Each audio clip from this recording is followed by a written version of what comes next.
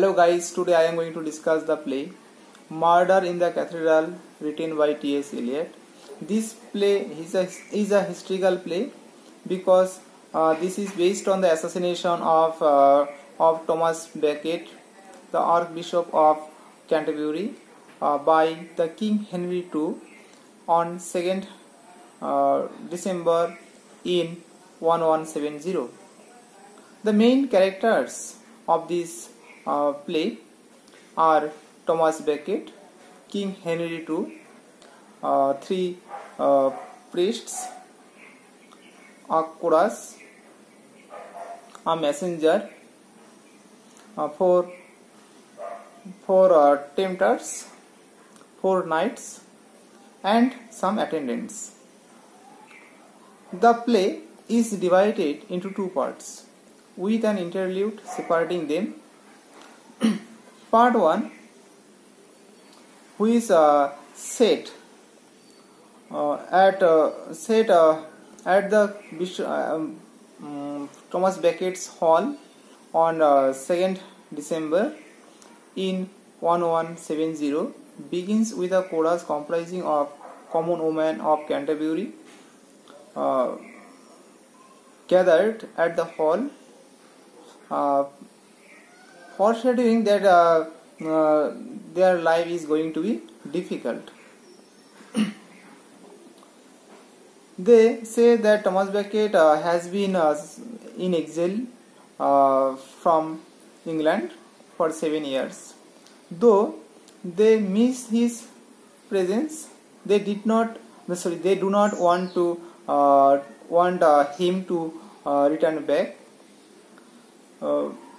because his return will uh, will stir up the old conflicts with Henry II, and uh, that will bring their life uh, difficulty and suffering, and even uh,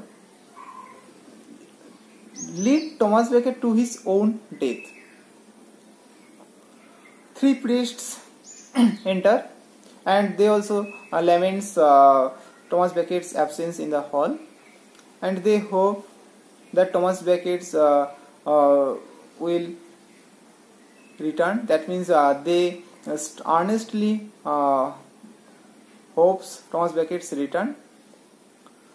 Then a messenger enters the hall with the news that Thomas Becket has been already in England and will soon enter the hall and with this news the chorus are uh, dismayed and worried that uh, that they will uh, lose their leaders. Uh, by thinking that uh, his return will um, will uh, make the king king Henry II angry and his own death that means they will lose their religious leader but the uh, but the priests are uh, earnest to welcome uh, the king Henry second. Henry and uh, finally Henry uh, sorry Thomas Becket enters the hall followed by four uh, tempters.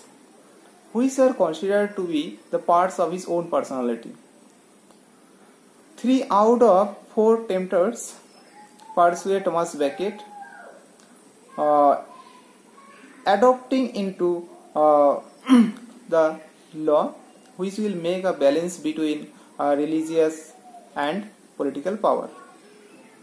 But Thomas Becket overcomes these uh, propositions given by three tempters, but the last one, that means the fourth tempter, offers Thomas Becket martyrdom which will be remembered through ages. And uh, Thomas Becket, uh, actually, the, the martyrdom was actually the desire of Thomas Becket, and ultimately, Thomas Becket accepts the propo- uh, proposition given by the fourth tempter. In the interlude, Thomas Becket uh, gives a sermon to the congregations uh, that they should uh, they should uh, perceive sainthoods from the heavenly perspectives and reconsider the conventional human understanding of saintliness as uh, pure innocence and without gaining. And he says that uh, his uh, his uh, death is uh, the will of God. So there is no uh, there is no scope for lamentation on his death. But Thomas Becket uh, himself laments that uh, he might uh, never be stand before them anymore. In part 2, we find four uh, knights enter the hall and accost Thomas Becket, calling him a traitor to the crown. They also describe that before, uh, before uh, they also describe that before Thomas Becket left, uh, King Henry II appointed him as the uh, chancellorship of England as well as the Archbishop of Archbishop of Canterbury. But after after initially accepting both positions, uh, Thomas Becket dropped the uh, chancellorship of England, and gradually he also abandons the uh, abandons the uh, position of Archbishop of Canterbury. That means uh, he was uh, he was disloyal or he was unfaithful to the king. And uh, they also uh, they also uh, uh, claim that they are they are sent by the King Henry II to kill Thomas Becket and when they are ready to kill Thomas Becket, at this moment, uh, priests and some attendants enter the hall or enter the scene, and they are interrupted from fulfilling their ambitions. And four knights leave, promising that they will be back. They will be uh, back uh, for Becket.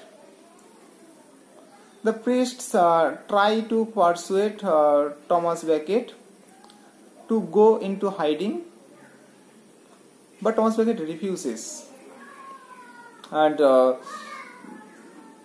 and the priests uh, priests uh, uh locks the doors to prevent four knights from killing from entering the hall but but Thomas Becket demands that they should unlock or open the doors because it is against mercy to uh, prevent anyone from entering the hall of the cathedrals.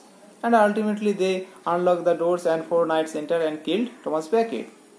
And after killing Thomas Becket, the four knights turn to the audience to justify uh, themselves for what they did. And in uh, chorus and, uh, and uh, the priests and chorus recently entered. Uh, meanwhile, entered uh, laments and uh, cries and laments in depressions and ultimately uh, realizing that it was actually the um, will of God they uh, pray to God uh, to forgive and have mercy on them thus the play ends if we analyze the play we find most important or the dominant uh, themes of this play are eternity versus worldliness. Thomas Becket sacrificed his life to the will of God, and this symbolizes, or this action of Thomas Becket symbolizes eternity. And on the other hand, the um, kings, the kings, uh, the action of kings, that means the, the killing uh, Thomas Becket symbolizes the worldliness. Thomas Becket killed, uh, uh, no, sorry, Thomas Becket was killed by Henry uh, because of his uh, uh, because of his pride, because of his glorification that he gained in power. That is, of course, a political power. But on the other hand, Thomas Becket sacrificed his life to the will of God, and that will be that is of course eternal. Why? Because Thomas Becket, apparently Thomas Becket sacrificed his life. That means he is dead in this world. But he is glorified in the uh, in the non-human world that means the world dominated by the god and apparently uh, the death of Thomas Becket is of course sorrowful for the chorus and and the and the um, and the priests uh, who uh, who worked under the domination of Thomas Becket. But if we look uh, psychologically then we find that his death bring uh, bring uh, the peace uh, happiness to the to the uh, to the world. And uh, Thomas Becket Thomas Becket uh, is killed by the king. And he is he is of course he is uh, glorified and fried but his action for his action he will be judged and uh, will be forgotten by the will that means the uh, course of time or the fate. And thomas and uh, thomas becket can be compared with the christ. That means jesus christ who sacrificed his life for the welfare of the nations. Similarly, Thomas Becket also sacrificed his life for the nation of uh, for the welfare of nations. If Thomas Becket would not be killed, uh, would not be killed by Henry II, there will be, or that means if Thomas Becket do not sacrifice his life, there will be a conflict again before the king and Thomas Becket. That means the religious power and political power, and that would bring the unhappiness a difficult and make the nations suffer. So the uh, so the death of thomas becket will be remembered throughout the ages. Even today thomas becket's uh, uh, sacrifice, uh, sacrifice to the uh, through the will of god is remembered.